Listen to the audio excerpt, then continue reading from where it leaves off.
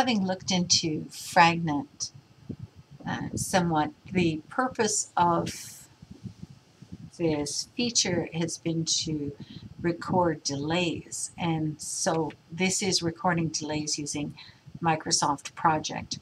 Let's say we're pouring foundations. The first step is to mark the scenario how much of the particular item is complete. If nothing is complete, that's fine too. But let's say that we were already started the foundation work. We had spent a day, so you can notice here I went to under the task ribbon to mark on track and I chose the pull down and update and I also specify that we've spent a day and so one day is complete and we probably have what nine days left and so you can see the shaded in area on foundations now indicating that we've we've completed our first day. The second item is to insert the fragnet or the delay item.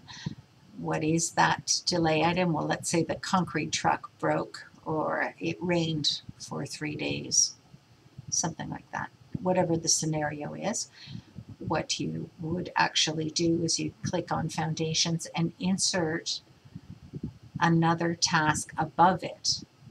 And you can right click on number 18 foundations for instance and choose insert task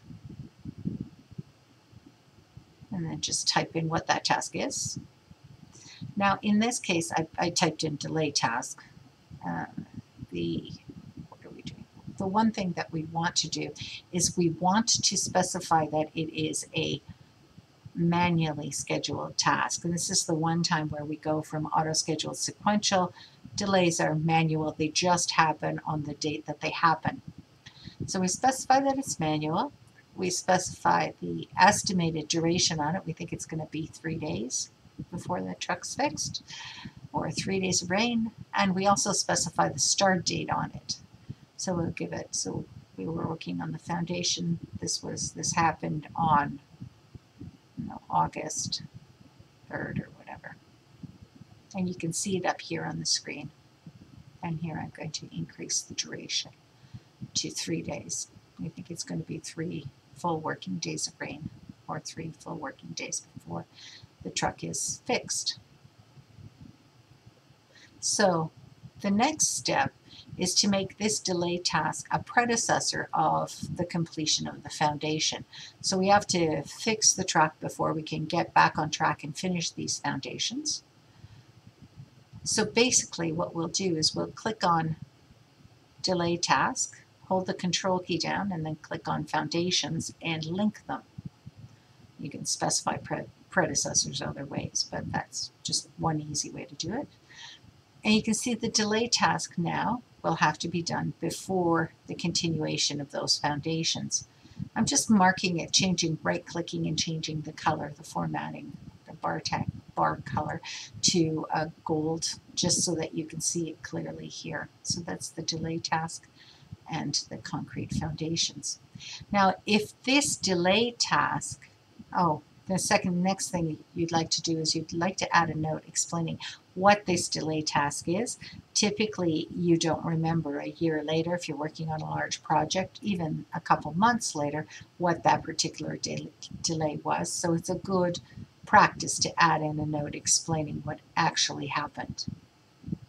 In this case, I'm going to simply double click on delay task or click on notes and just enter in, you know, the truck broke.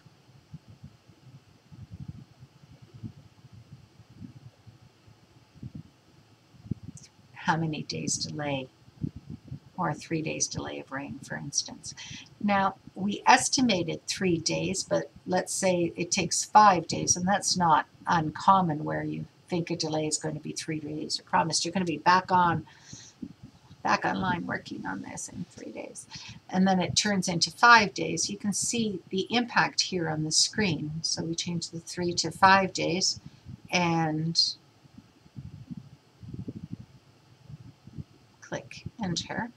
And what happens is is that the concrete, the completion of those foundations gets pushed out another couple days because of it.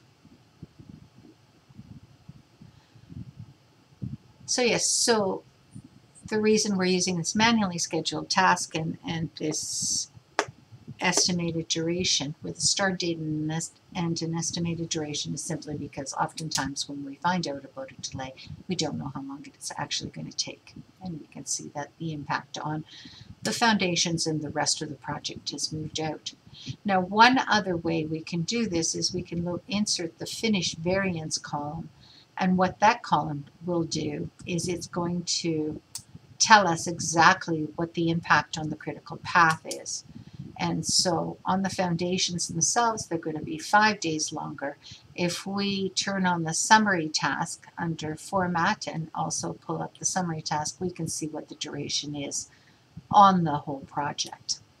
So hopefully that answers your questions on, or that that is the information that you were looking for on the fragnet. Again, it was a pleasure speaking with you today, and I hope you have a lovely weekend. And thank you.